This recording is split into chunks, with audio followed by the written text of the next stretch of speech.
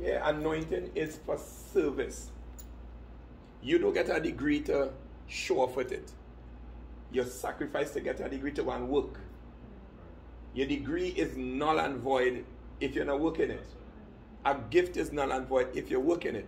Now the flip side of that is when you have a gift and you're working it for the glory of yourself and not for the glory of God. That, that, that is where the whole thing is. And, and you know, when you look at people rushing to get ordained now, and people rushing to baptize now, and people rushing to point, and people rushing to evangelize and to preach, and, and, and you're asking yourself, where is God in the business? Because because we're finding all the ways to go past the spiritual side of it. So according to the statement, we're removing the ancient landmarks. And when we remove the ancient landmark, it means that everything is free flow. It have no control. The ancient landmarks is what used to put the checks and balances. So the provers used to be able to come and prove. The teachers used to come and teach in a certain way. The pointers pointed, the divers used to come and dive. When they have a situation in a Mona room, the mother would raise a hymn with the pastor and they go, they go put the, a, a, a loot, a pot, or a candle in a diver hand. And while they, when the diver start to pray, they go open a road. And when they open a road, the diver go start to walk that road and they, they go start to have a conversation. And they have a conversation, the diver go say, Well, look, you're mona between two rock and stick, you know, this kind of way. And then the pointer go say, Right, because the diver might, might be of a deeper diving depth than the pointer. Yeah. You understand what I'm saying? The pointer is not the most gifted person in the church. There's the most learned person in terms of, of, of, of being able to have the qualifications to teach. But you might be a general teacher, but I might be a maths, maths whiz. And when a situation come with maths that is beyond you, you are qualified to this degree, but my maths is at this degree over you. So you find now that in a situation like that, you need somebody to help you. And, and, and that is what we missing, you know, we missing how to really unify the body, you know. And if we can only come off ourselves, we come off ourselves, you know, you know, you know, you know, it's a real reality in the faith that we don't want to, we don't want to face. I am, um, Terence and Virgil doing good. Terence and Virgil have a fallout. Terence come and tell me something about Virgil. I started taught because me and Terence live better than me and Virgil. So I and Terence form an alliance. You understand? When Virgil realized me and you form an alliance now, Virgil tell himself, well, oh, that what the case is. So all the thing that you tell he, that was private and personal, he started to send that outside there, you know. That's right. And that's a human thing, you know. And when you start to do that now, what going on there now, it go wrong and it come back and try and say, I, do, I hear it. And you know, that will blow the starter pelt. I go do him. So, th- so then you know his secret too. That's right. So then everything come out on social media, everything come out Yeah. in, in, in Baptist media, let me put it so. And everybody know what's going on be, be- with, with things that people so sad private. So we don't even have the integrity no more. Mm-hmm. So if you lose if you lose integrity, then it means that your value system going down the drain. A man must be able to be talking your personal business. And you must be able to say to yourself, look at that, look, at have all your business locked down here. And sometimes your business worse. The man not talking, he business worse than the man he talking about. So you see, these are the little things that we have to understand. When you have a gift, and people just want to go and moan. I want to, when you go and moan, it means you're going to be exposed to more stuff. When you go and moan, moaning is opening a womb, you know. It's a birthing, you know. And for a child to, to, to start to function from birthing, it means the child has to start to know to cry when it's wrong because a child don't know. Your body go talk to you and you, you, you, you're going to respond where your body is concerned at one level. And as, as you start to grow, a child has developed system. It have things that is innate in a child. They're born with them things. But it has some things that happen as the, the culture and the home and all kind of thing. And the child start to know. So the a child start to know when mother coming to nurse it. That's why a child is ball ball and after a while it, it, it, you will see it pause. It, it, it know when I normally ball for this amount of time. I, I just get I just get comforted. And as the child start to grow, the child start to find his own way. Children will be disobedient from small, you know. Because they, they know learning stuff. So you think when people know moon or they know baptized, they want to learn new things? No, self, they want to learn new things. So you see, th- that is where we have to really come to understand what it is we really want. And when we could really understand what it is we want, you, you serving go today, and you go somewhere today, and because you have another event tomorrow, you find you went on an event already, you're not going the following day. And then you go tell somebody, me, I study my health. Why I go and work Monday, I done went out Saturday, I'm not going away Sunday. And them is foolish. But when somebody start to elevate now, in your space that's showing commitment. Sometimes you might think you're more gifted than them, and maybe you might be, but you don't have the commitment. You know, you know, you know, a minister said something to me two weeks ago, and it's sticking my head, you know. And I was telling people I like I like I like to have the ears to hear. Because there are things that God does does really that that hear what the Bible say. Not see and receive instruction, you know. The Bible say hear and receive instruction. And when he said that to me, he was telling me what I member in the church. He said, well, if, if, if I call she now and tell she, all about try to have a ticket to go, he said she would put down any plan that she have. She will put it on. You know why? Because she trusts that if I ask her to do something, right. I am asking it for a good cause. Right. He said, and that in itself is an encouragement to me in terms of a, as a minister. When you're a minister or a mother in a church, and members come in and they just wouldn't tell you they ain't coming. They wouldn't tell you personally, they wouldn't tell you privately. But they will have all the reasons for the attitude that they would give off. Why? Why? I'm not commenting and I'm not telling them because he had attitude. I'm not telling the mother because she had attitude. I'm not telling them because I'm not their business. You know, and they'll have all the, eh, but only let the head hurt them. Only let a situation come where they need something spiritual they calling you and they don't say. Look, look, just this morning, I was saying to myself, I say, know, people that be calling down your phone because you have a gift that they want to invest in for free. Sometimes they want to know what's the price, but they don't know they want to negotiate if it with a price. And when they get that help, they like the nine leper, not the tenth one, you know.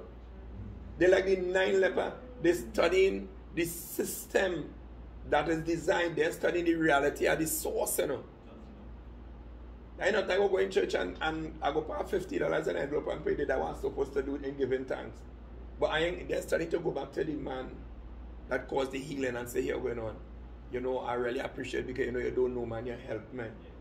And because you help me, you know, I, I don't have nothing to offer, but I want I want to say a heartfelt thanks. People know that that more than money. That worth more than money. So, so, so everybody caught up in their own self because back to the original thing, they they want gifting. So, so, so they, they walk in an anointing that they don't even have. They walk in an anointing that they don't even have. So you learn to word at him because you're in the church.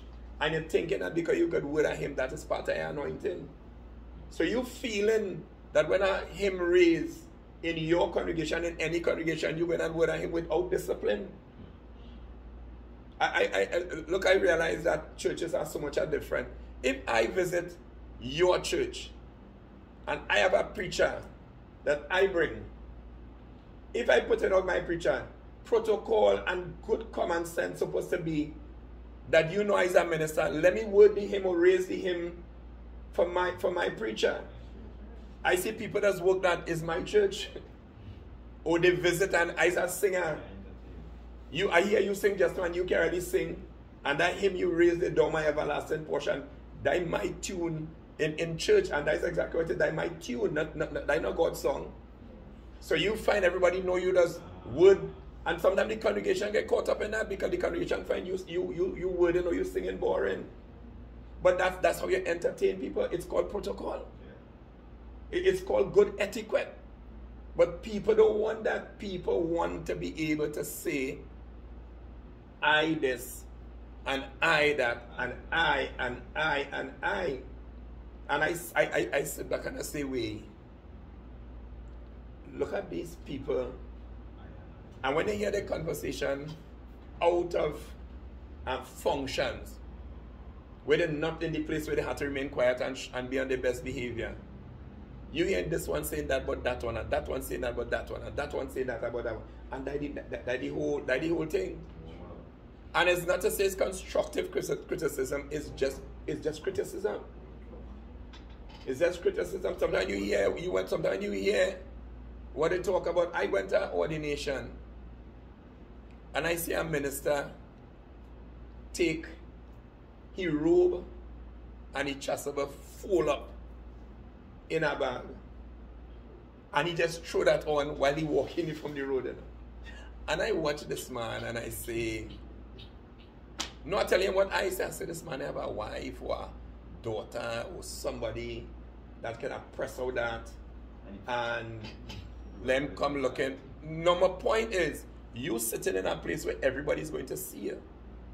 And because you're sitting in a place where everybody is going to see you, I would think that your spiritual clothes will be important to you. Now, the clothes are more important than the mind of the person, you know.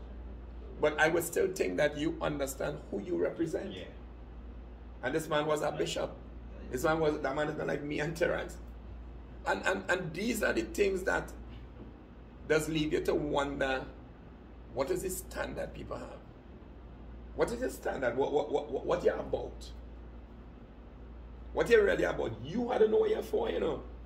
Because a lot of people, when they out of position, they just have much to say.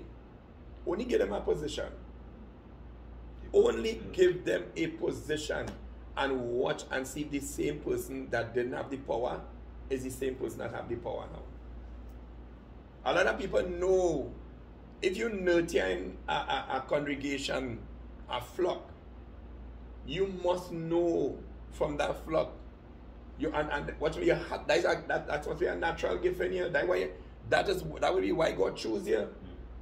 You must be able to watch your congregation and say, This is a young preacher. Let me start to give them opportunities to read and and, and, and, and you, you start to nurture them. And when you start to nurture them, eventually what will happen is that they will start to come from one place onto another place. If you plant a, a if, if you if you buy about 40 coconut tree and after five years, all them coconut tree short, so you go feel you waste your money. But you know, if you plant 40 coconut tree and only five start to grow, and while that five started bear, the rest of them now struggling to grow, you know where you go look at that and say?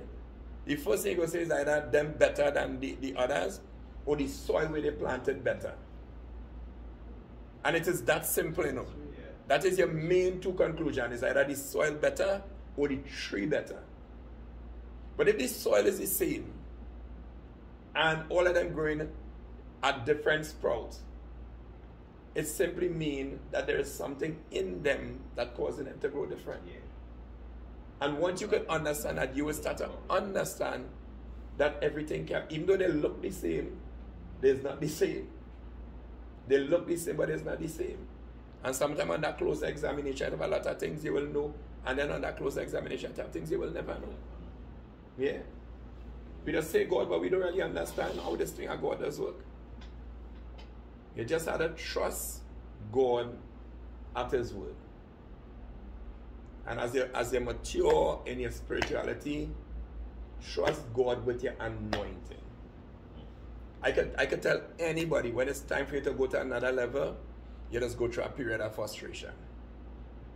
Frustration carnally, frustration spiritually, frustration emotionally, frustration mentally, sometimes frustration physically. You're just being a whole mess because God telling you, hey, it's time. That place start again comfortable. You know they say eagerness make the nest uncomfortable for the for the chick. Because you know why that means it's time for them to come out. And that is not that is not for the worse, you know, that is for the better. Because only after that they can know how to survive. They just throw them out when they reach a certain stage. They throw them out the out, out, out, out the um. Yeah. And that is what is going to help them to be better and stronger. And if they wasn't equipped to be able to fight that, is laziness that's caused plenty people to die, carnally and spiritually. Laziness. So if you know and you believe that you are anointed, your anointing, the first thing must go with your anointing is discipline. The first thing must go with anointing is discipline. You must express a certain degree of humility. Anytime, you know, you know, you know, Jaron said it last night. He said, anytime you leave church because of somebody you wasn't serving God. Because you didn't, that person could be getting on how foolish. That person could have how much, or be how district. That person could be how whatsoever it is. You must know your call into that congregation must be God and not the person. Because sometimes a fight break out in church. I mean a physical fight. And your duty is to remain to see the outcome of that. Sometimes a fight starts in a church and I pull and talk, you go on and you ball and I didn't come here for that. But struggle does bring struggle does bring progress. If that child is struggling in that womb, it never come out, you know.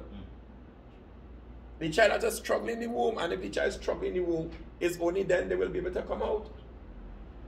You understand? So so we have to understand how it does go. It's not, it's not about you. Anything that God entrusts you with is all about you being able to understand that in everything you must remember that God is in charge and God is who calling the shots. One stage, two stage, three stage. And he does allow you to grow gracefully from here to there. Look, I just tell people, if I was fussing about about teaching on this level, I would have been totally frustrated now. I'd have been totally frustrated. Look at the line in house and the line out house. I would have been frustrated, but I had to trust God. I am sitting down and saying, Oh yeah, I had to trust God, I had to trust God. I had I had to figure out what it is He wants. Because when you think you know what God wants, and then you come and see what God wants, and it's not the same thing, it's trouble. And not only just trouble, you know, it's plenty trouble. So you know we have to trust God for what He has done, what He's still about to do, how He does do it, how He will continue to do it, and you have to know you have to go through struggle. You have to get frustration. That is what is going to build you. That is why if you have something to fix on a car, you must always study, study to master that. That thing that you're doing, you're, you're accustomed doing it, but every time you do it, you must do it like if it requires the highest attention. If you're doing it on a BMW, you're doing it on a, on a, a, um, a Toyota Isis. If you're doing it on a B14, you must know to do it. You must set your standard. You must know if you go and you look at a problem here. I have a customer that come here and she tell me what she want. But based on my profession, I am telling her, I said, this is what you tell me that you want. I said, but, and I start to show her different things that could affect what she's telling me. And then she tell me, so I, I said, no, I'm not telling you that. I said, I am letting you know based on what you tell me.